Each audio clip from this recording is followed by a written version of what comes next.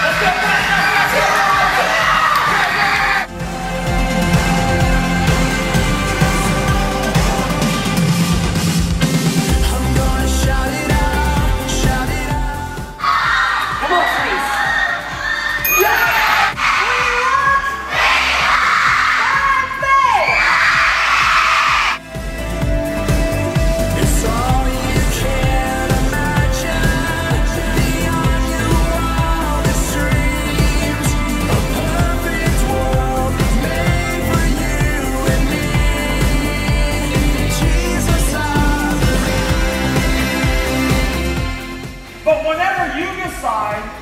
close your eyes and focus and tell God thank you, it's just like your spirit picks up this